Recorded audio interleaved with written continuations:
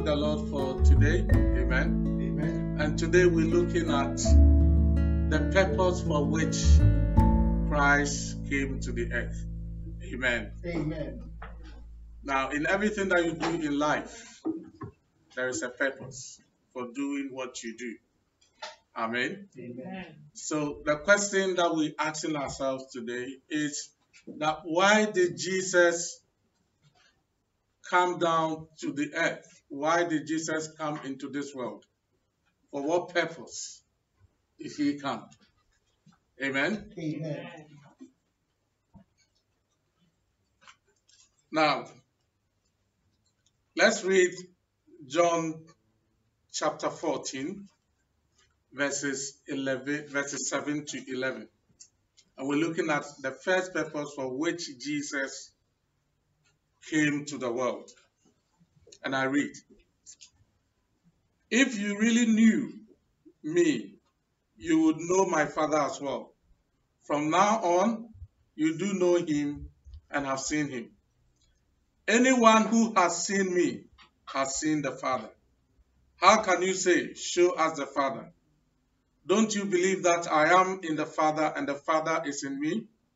The words I say to you are not just my own. Rather, it is the Father living in me who is doing his work. Believe me when I say that I am in the Father and the Father is in me. Hallelujah. Amen.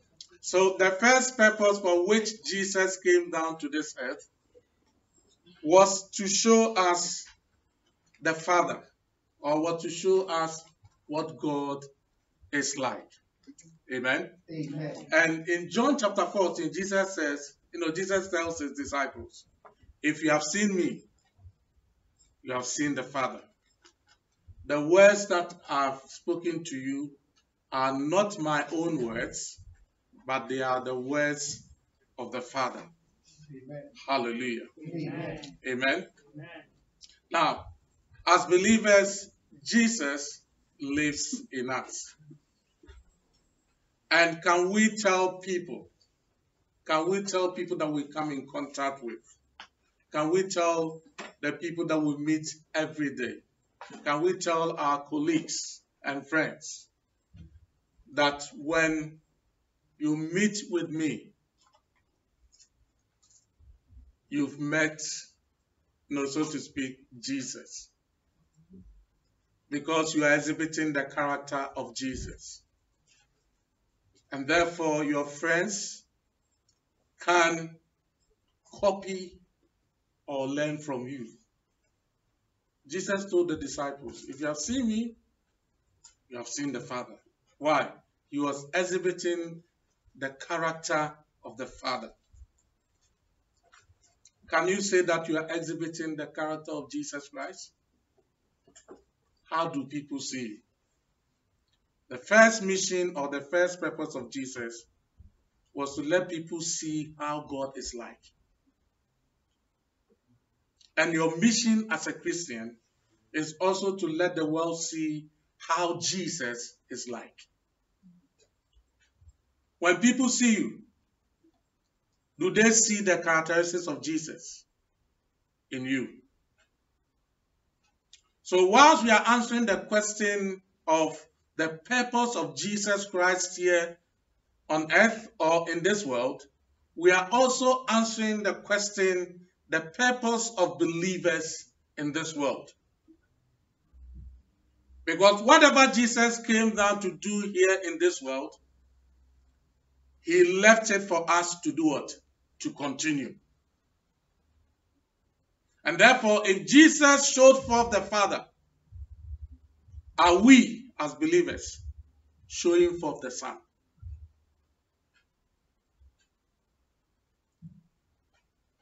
Do the people that come in contact with you, can they say conveniently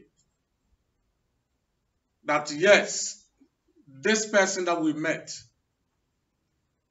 is a woman of God. This person that we've met is a man of God. He is a Christian. Now, the Bible says in Acts chapter 11 that the apostles led their lives so much so that the people that saw them gave them the nickname Christians because they said, These people are just like Christ. So the word Christian is a nickname that was given to the believers. But these days, so many people call themselves Christians. It's not for fashion, it's not for show. If you are called a Christian, then you must exhibit the character of Christ. You must show Christ to the world. Christ must be seen in you. The world must see Christ in you. Your life should be challenging. Hallelujah. Amen. You don't behave like the worldly people behave. Then what is the difference? Amen. Amen. We should show the character and the life of Christ. And it's a challenge to all of us. Jesus left off, and we are we are to continue from where Jesus left off by showing forth the glory of the Father to the world. The second purpose for which Jesus came down here on earth was that he came to show us the love of God. He came to show us the love of God. So, first of all, he showed us how God is like or who God is like. Then, secondly, he came to show us the love of God. And I'm reading from First John chapter 4, verse 9 and 10. This is how God showed his love amongst us. He sent his one and only Son into the world that we might live through him. This is love, not that we love God, but that he loved us and sent his Son as an atoning sacrifice for our sins. Hallelujah. Amen. And therefore, Christ came down to show the world the love of the Father, the love of God. Now, as we've read from the verse, we've seen that love is about sacrifice. The Bible says that God gave his only son that he had, he gave him as a sacrifice for our sins. And by the sacrificial death of Jesus Christ on the cross, he shows forth the love of the Father to all humanity.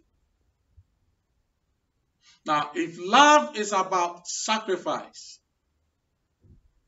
my question to you as a believer or as a Christian listening to me today is that how much do you sacrifice for others? God showed his love by sacrificing his son for us. Now, sacrifice is something that you give up, something that you would have benefited from, but you give that thing up for the sake of others. So, for the sake of others, you give that thing up. Do we lead sacrificial lives as Christians? Or are we selfish? So, it's either you are selfless or you are what? You are selfish. God was not selfish. God gave his son to us as a sacrifice. How often do you sacrifice for others? Is the question. How often do you think about others before thinking about yourself? Or do you always think about yourself before you think about other people? The Christ like nature is that you walk and live in love. You think about the good of others before you think about your own good. You think about sacrificing for others before you think about your own benefits and what do you get. But there's a tendency in us as human beings that we'll always have to, you know, we'll always want to think of what we will get before thinking of others. A life of love is a life of sacrifice. And this is what Christ showed to us. He came down to show us the love that God has for us. And that love is that God gave his son to us and sacrificed him for us to get our salvation and for our sins to be forgiven and for our sins to be washed away by the blood of Jesus. Make it a point today to lead a life of sacrifice. Show love to other people.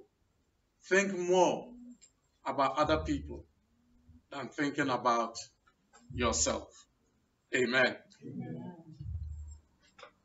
Also, Jesus came down here to this earth or into this world to show us God's power. He came to show us the power that God has. And how did he demonstrate that? Jesus healed the sick. He demonstrated the power of God by doing what? Healing the sick, those who were sick. And I will read from Matthew chapter 4, verse 24. And this is what it says News about him spread all over Syria, and people brought to him all who were ill with various diseases, those suffering severe pain, the demon possessed, the epileptic, and the paralytic, and he healed them. Hallelujah. Amen. All kinds of sick people were brought to Jesus. Those that were demon possessed, those that were paralyzed, those that had defects in their bodies. And the Bible says that when they brought all these sick people to Jesus, he healed all of them. So he demonstrated the power of God by healing the sick. Hallelujah. Amen. Amen. Amen. Let me ask you this question. How do you demonstrate the power of God as a Christian? When was the last time you prayed for a sick person? Now, as I said before, now as we're looking at the purpose of Jesus Christ here on earth, we also at the same time looking at the purpose of believers in their communities or in this world. When was the last time you prayed for the sick? Praying for the sick and praying for the healing of others is not the domain of the evangelists only. Hallelujah. We are all commanded in scripture to pray for the sick. The Bible says that you shall lay hands on the sick and they shall what? Recover. So, how often do you pray for the sick? And that is the question you are supposed to ask yourself as a believer. Are you demonstrating the power of God by praying for the sick? Or are you giving excuses? Oh, as for praying for the sick, uh, the evangelist should do it, the pastors should do it, the prophets should do it, the apostles should do it. No! Every believer has the power given to him by the Holy Spirit to pray for the sick and demonstrate God's power to the world.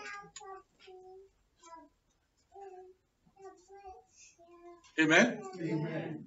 So since we entered this year, if you haven't prayed for the sick, you have to do so. Praying for the sick should be our daily activity. We have family members who are sick. We have mothers who are sick. We have uh, brothers and sisters who are not feeling well. We have friends or colleagues who are not feeling well. Do we pray for them? When you go to college and a friend of yours tells you, I'm sick, I'm not feeling well, are you able to master the boldness and tell that colleague or friend, let me pray with you, and I believe that God will heal you?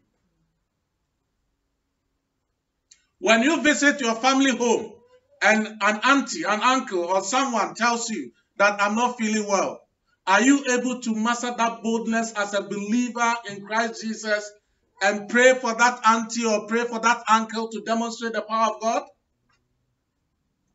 Or do you leave it to the pastors to come from their homes and pray for your aunties and pray for your uncles? Amen. Amen. The purpose for which Jesus came to the earth is also the same purpose for which believers must demonstrate to the world that our Jesus is alive, he's not dead. And He's still working through us to bring healing to humanity. Amen. How did Jesus demonstrate the power of God? He demonstrated the power of God by casting out evil spirits. Jesus cast out what? Evil spirits. Now, let me read from Mark chapter 1, verse 34. And this is what the Bible says. And Jesus healed many who had various diseases. He also drove out many demons, but he would not let the demons speak because they knew who he was. Jesus demonstrated the power of God by casting out what? Evil spirits. He cast out demons from people.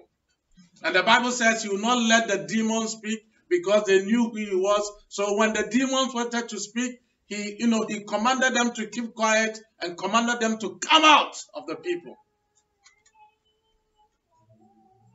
Amen. Amen. I'm here to tell you this morning that the deliverance ministry does not belong to special particular people. Jesus demonstrated the power of God by casting out demons. And the Bible says that he says, In my name you shall cast out what? Demons. You shall command them and they will leave. When was the last time you commanded a demon to leave? Tell me. But you always come to church. Some of us have been in church for 10 years, 5 years, 7 years. When a demon screams, we run away. Yes. Some people call themselves believers, but they cannot gather the boldness to stand and do deliverance on a person that is being tormented by demons. Why? They are afraid. While the Lord Jesus came here on earth to demonstrate to us the power that God has over these evil spirits. Let me ask you if you are afraid of demons, if you are not casting out devils, let me ask you this question Where is your faith? Now, Jesus Christ said that the things that I do, greater works shall you do because I go to the Father. Now, Jesus cast out devils, and we are supposed to do greater than he did. Can we say we are doing greater things than Jesus did? Or do you see casting out of evil spirits as a work specified for some special people? No way. If you're a believer, you must be filled with the healing power of God. Every believer. Because the Bible says you lay hands on the sick and they shall recover. Every believer must be filled with the power to cast out demons. Because the Bible says that you shall command demons and they shall leave.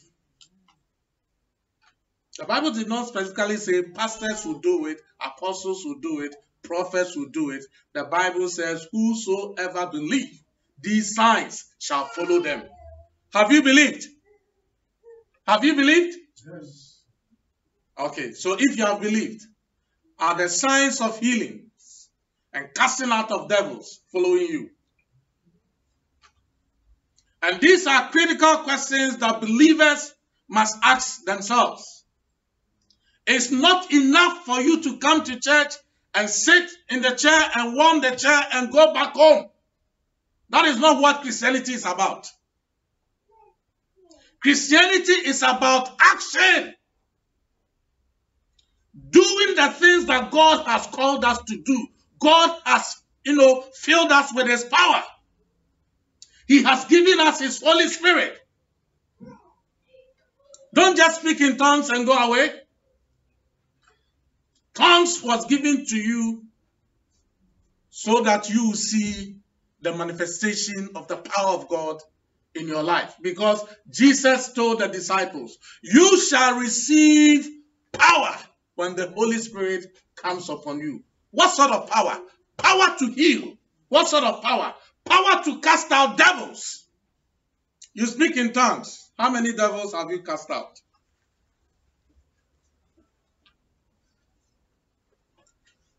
Christianity goes beyond just coming to church and enjoying the service and going back home. Christianity is about action. Christianity is about promoting the kingdom of God. And how do you promote the kingdom of God? You promote the kingdom of God by demonstrating the power of God.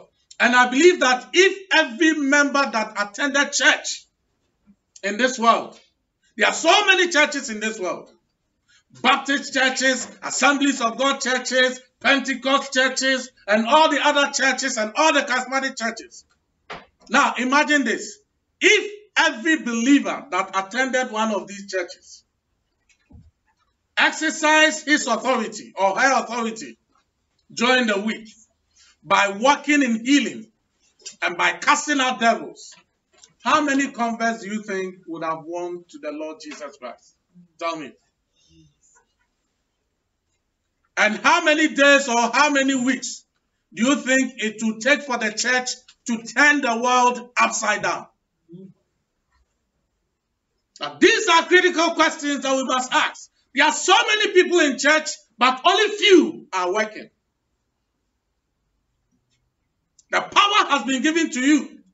You can pray for the sick. You've got the power to pray for the sick. And that is why these days some prophets and some pastors have taken advantage of the congregation and, you know, they are doing, because yes, they are doing it. And therefore, when they pray for you, they will charge you. They will take money from you to pray for you. Why? Because you are not exercising your authority. That is why they will charge you and collect money from you.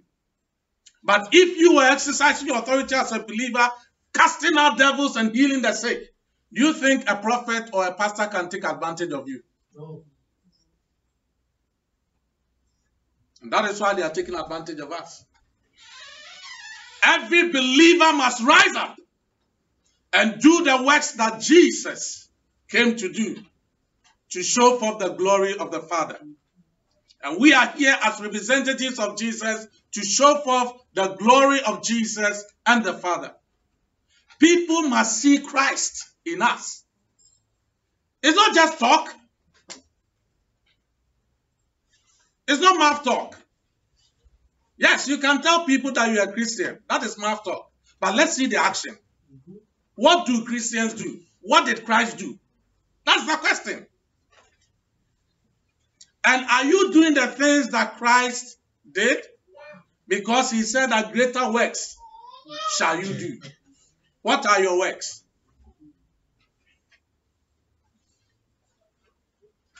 Even when it's a deliverance session and a demon manifests, you are pushing back. You are just drawing back. And some people intentionally draw back. Then they push the pastors and the elders forward. You go and face it. Then they are you a Christian? Is Christ in you? Let us do the things that Christ did. Hallelujah. Amen.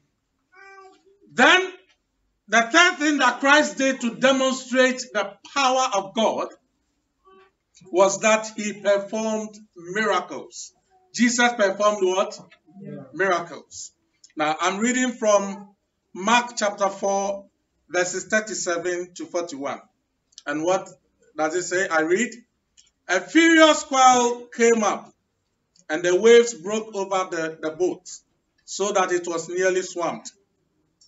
Jesus got up, rebuked the wind, and said to the waves, Quiet, be still.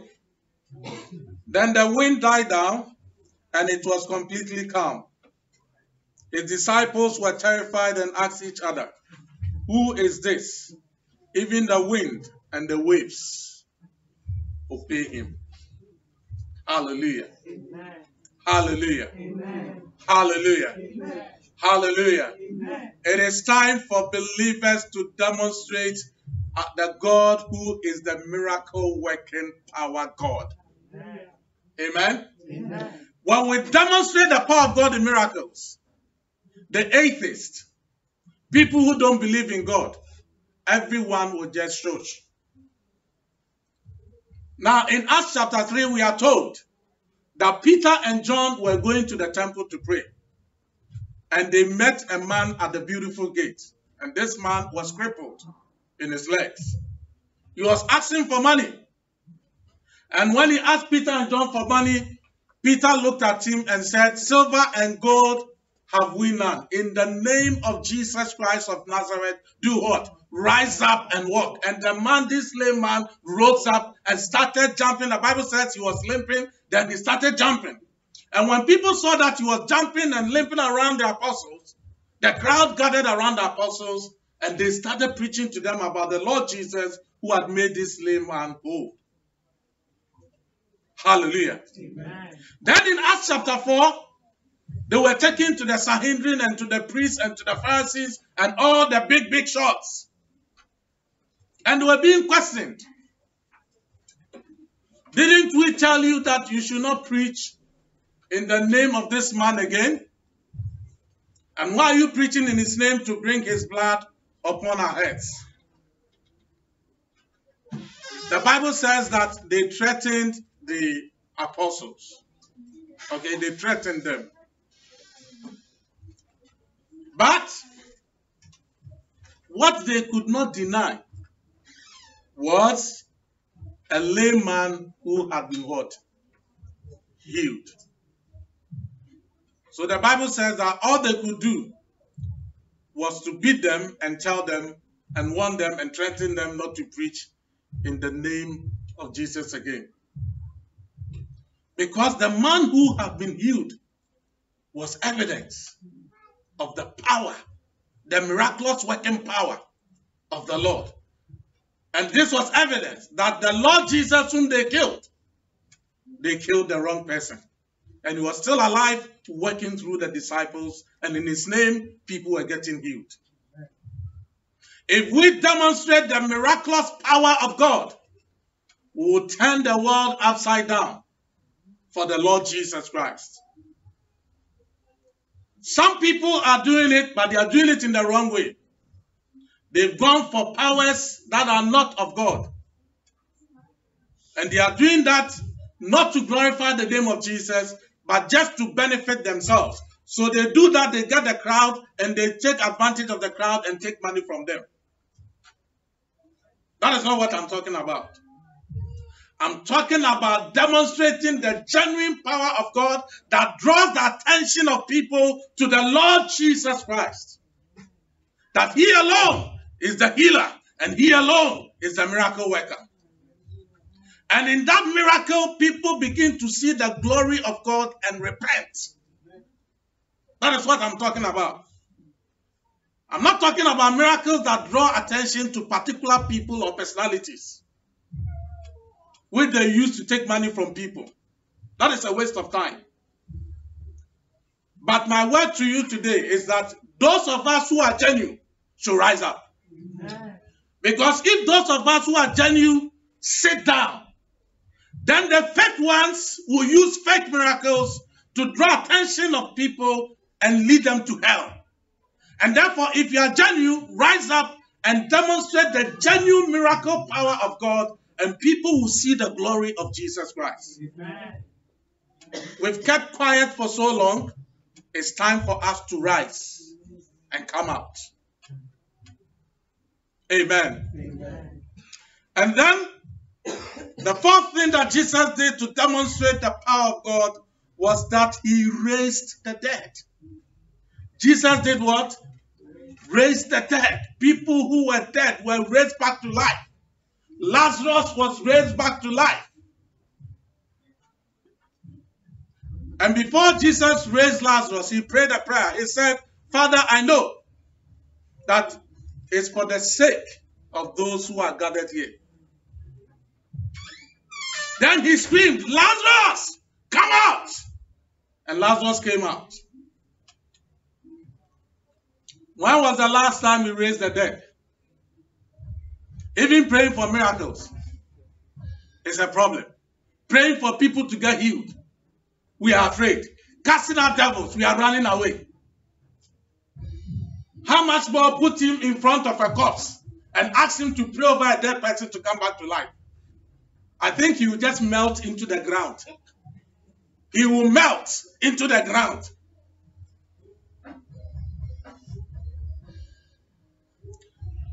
It's about time we demonstrated the power, the genuine power of God. If we don't do it, the fake ones will do it. I'm telling you. If you sit there and keep quiet and talk and talk and talk and criticize and criticize and criticize, your criticisms is not going anywhere. Get up, rise, and do it. And let the world see the difference between the genuine and the fake. You understand what I'm saying? Jesus raising people from the dead shows that God has power over the life of men. It's God who decides who lives and who goes. You understand? If God had decided that I wasn't going to see today, I would not be here today. You understand what I'm saying? He has the power over life and death. And he demonstrated that through the Lord Jesus Christ. And therefore, if you're up today and you have seen today, it is only by his grace and by his purpose and his determination that you should see today. That is why you are seeing today. You are not alive today because you are so beautiful. And you are not alive today because you are so wise and you are so intelligent and because you are PhD. People are professors. They didn't wake up this morning. People have money upon money. They didn't wake up this morning because God determined that this morning they will not see it. We are worshiping the one who has the resurrection power. And he's the one that decides that you shall live and you will live. When he decides that you will be dead, you are dead. And that is why he told his disciples, Listen, do not fear the one who can kill the body, but cannot determine the destination of the soul. But fear him who has power over the body, and after killing the body, he can also determine where the soul will be. Fear that one. And he is the only one that we are to fear in this universe. Hallelujah. Amen. He's the only one we are to fear in this universe. Fear no man. Fear no man. Man has no power over your soul. Man has no power over your spirit. They can kill you physically, but they cannot kill your soul. They cannot kill your spirit. They cannot determine where your soul and your spirit will spend eternity. But fear the one who's got power to determine both the physical and the spiritual. It's time for us to rise and show forth the power of God. Hallelujah. Amen.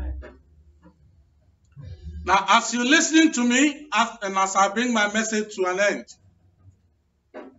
if you don't know this Jesus that I'm talking about,